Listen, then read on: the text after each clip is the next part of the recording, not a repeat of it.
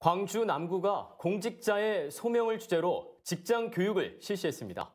그런데 강사가 지난 4월 불법 선거운동 혐의로 징역형의 집행유예를 선고받은 강운태 전 광주시장이어서 논란이 일고 있습니다. 최선길 기자입니다. 광주 남구가 한 달에 한 번꼴로 실시하는 직장 교육이 논란에 휩싸였습니다. 공직자의 소명을 주제로 한 이번 교육의 강사로 강운태 전 시장이 나섰기 때문입니다.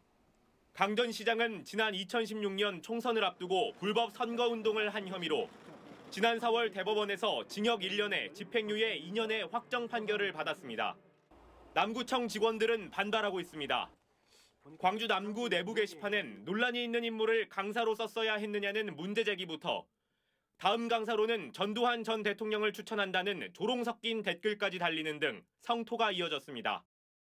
일단 현행법 위반으로 사법 처리 됐고 또 사회적 무리를 일으키신 분 아니겠습니까? 근데 굉장히 강사 선정 자체가 굉장히 좀 부적절했다. 김병래 남구청장은 강전 시장 시절 광주시 직소 민원실장을 지내는 등 국회의원 시절부터 최측근 인사로 분류됩니다. 더욱이 강전 시장은 남구에서 두 차례나 무소속으로 국회의원에 당선됐을 만큼 조직력이 있는 것으로 평가받고 있습니다. 남구청은 강사 선정 절차에 문제가 없었다고 해명했습니다.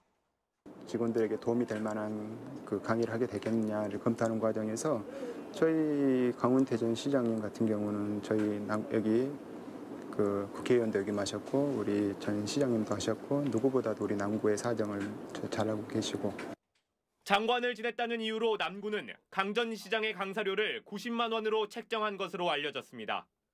KBC 최선길입니다.